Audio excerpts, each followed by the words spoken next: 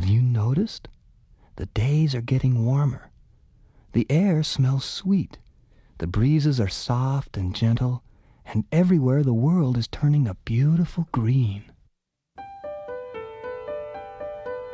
This morning, when the sun came up, a wondrous thing I heard a whistling, warbling, chirping noise. It sounded like a bird.